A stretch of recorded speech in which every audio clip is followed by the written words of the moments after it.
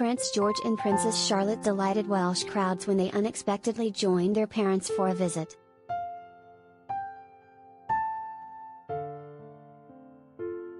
As part of the Platinum Jubilee celebrations, the Duke and Duchess of Cambridge were scheduled to visit Cardiff Castle in Wales on Saturday.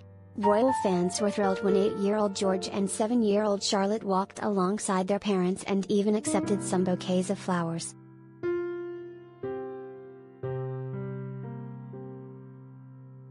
One family member who didn't join the royal walkabout was Prince Louis, 4, who perhaps judging by his adorable antics at the trooping of the color ceremony, was deemed too young to join in.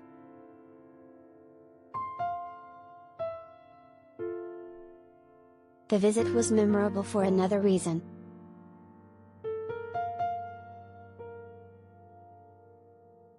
Prince William's first official trip to Wales was when he was the same age as his oldest son. Back in March 1991, he joined his parents, Princess Diana and Prince Charles in Cardiff.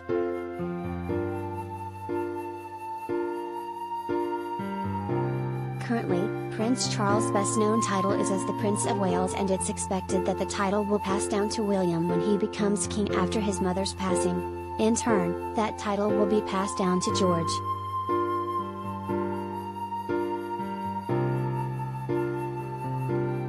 Their surprise visit took place on day three of a four-day-long party celebrating Queen Elizabeth's 70 years of reign.